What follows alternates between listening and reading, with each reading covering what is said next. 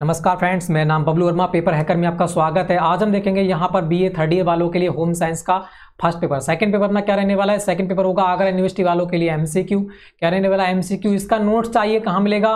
भाई नोट्स मिलेगा आपका डिस्क्रिप्शन में, है ना? जो नोट्स होगा वो कहाँ मिलेगा? डिस्क्रिप्शन मिलेगा। तो वहाँ जाके आपको बिल्कुल डाउनलोड करना है क्योंकि एम सी क्वेश्चन भाई, आपके एग्ज़ाम में बनना है तो एक भी क्वेश्चन छूटना नहीं चाहिए।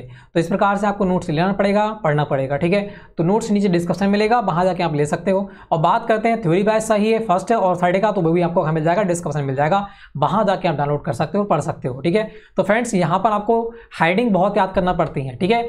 जो भी बीए के एग्ज़ाम होते हैं, उनमें हेडिंग बहुत महत्वपूर्ण भूमिका निभाती है। तो भाई इनकी हेडिंगों को बहुत ही अच्छे प्रकार से पढ़ लेना है। एक भी हेडिंग मिस नहीं करना है। थ्योरी चाहे एक बार पढ़िएगा, मगर हेडिंगों को सौ बार पढ़ के याद कीजिएगा, ठीक है? बढ़ते हैं फटाफट क्वेश्चनों की फ़र्स्ट क्वेश्चन देखा है, वस्त्र विज्ञान क्या है? वस्त्र विज्ञान जो होती है, वह क्या है? इसका महत्व, कपास के उत्पादन तथा ऊन उत्पादन के बारे में यहाँ पर बताना है, ठीक है? इसकी थ्योरी बहुत महत्वपूर्ण है। थ्योरी पढ़कर हाइडिंगों को याद ज़रूर करना है। बात करते हैं नेक्स्ट क्वेश्चन तरीका है धागा क्या है? इसके प्रकार मूलभूत बुनाइयाँ कौन कौन सी हैं? होती हैं, इनके बारे में भी आपको बताना है। हेडिंग डालकर ध्यान रखना कौन कौन सी बुनाइयाँ हैं? उन्हें हेडिंग में लिखिएगा। काले मोटे पेन से उसके बाद थ्योरी लिख दीजिएगा। आराम से बना बना के लिख सकते हो ठीक है? बात करते हैं, कलाई की प्रक्रिया क्या होती है? जो सॉरी कताई है कत, कलाई दे रखा है कताई हो गया यहाँ पे ठीक है? कताई की प्रक्रिया क्या होती है? फिर देखा है सलाइयों के द्वारा वस्त्रों को किस प्रकार बुना जाता है इसके प्रकार आपको बताना है। प्रकार किसे लिखना है? हाइडिंग के अनुसार लिखना है ठीक है? उसके बाद क्वेश्चनों को आगे लिखना है। देखा है तुम्हारा परिष्कृत। परिष्कृति क्या होती है? ब्लीचिंग प्रक्रिया से वस्त्र में क्यों और कैसे परिवर्तन होता है? जो ब्लीचिंग प्रक्रिया होती है, उससे वस्त्रों में क्यों और कैसे परिवर्तन होता है, इसके बारे में बताना है, ठीक है? और परिस्कृति होती क्या है, इसको समझाना है हेडिंग के अनुसार डालकर, ठीक है? बात करते हैं, देखा है तुम्हारा सैनफोराइजिंग प्रक्रिया को स्पष्ट कीजिए। जो सैनफोराइजिंग प्रक्रिया होती है, उसके बारे में यहाँ पर बताना है, बहुत ही अच्छे प्रकार से, ठीक है? तो एक भी क्वेश्चन मिस नहीं होना चाहिए। आगे बढ़ते हैं नेक्स्ट क्वेश्चन कह रहा है, सिलाई मशीन में सिलाई मशीन के पुर्जों के नाम आपको बताना है, ठीक है? पुर्जों के नाम, देखो, नाम किससे डालना है?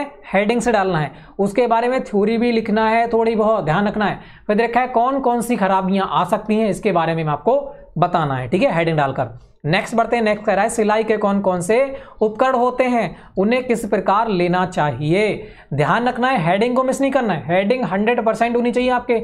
जो आप लिखोगे, ठीक है थ्योरी उस पर हेडिंग होना चाहिए। बात करते हैं सिलाई मशीन की। देखभाल कैसे की जाती है? इसके बस देखा है पर वस्त्रों के चुनाव में किन किन बातों का ध्यान रखना चाहिए? ठीक है? अब थ्योरी वाइज क्या करना है? पहले हेडिंग डालना है, फिर थ्योरी लिखना है इसकी, ठीक है? आगे देखते हैं नेक्स्ट क्वेश्चन देखा है तुम्हारा।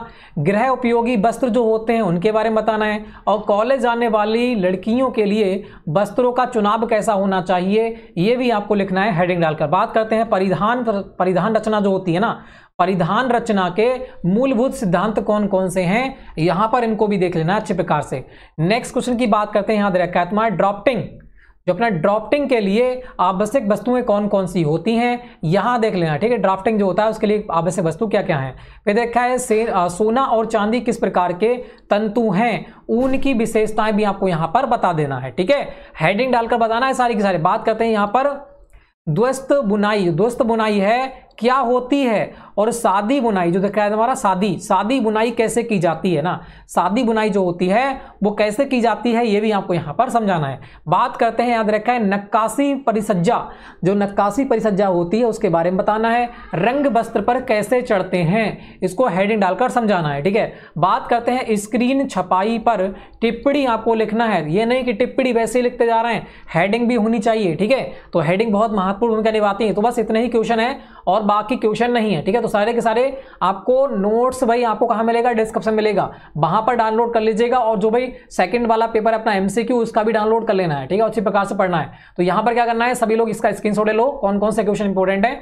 और अपनी बुक में मतलब जो अपनी ले रखी है तुम्हें सीरीज़ लेके बुक ले रखी है अपना आंसर जो साइड में लिखा है, कुछ भी लिखा है आपने तो वहाँ जाके आप पढ़ सकते हो। या आप हमारे डिस्क्रिप्शन नोट्स है, वहाँ पर भी डाउनलोड करके आप पढ़ सकते हो, ठीक है? तो ये बहुत इंपॉर्टेंट है सारे के सारे क्वेश्चन ध्यान से देख लीजिएगा, बिल्कुल। तो इतने ही क्वेश्चन है, ज़्यादा ज़्यादा चौदह पंद्रह क्वेश्चन है, इनको ही पढ़ना है और इनकी ही हेडिंगों को आपको याद करना है। इनकी ही हेडिंगों को आपको याद करना है, ज़्यादा इधर उधर नहीं जाना है, ठीक है? इधर उधर मत भागो, वरना क्वेश्चन कुछ नहीं कर पाओगे आप।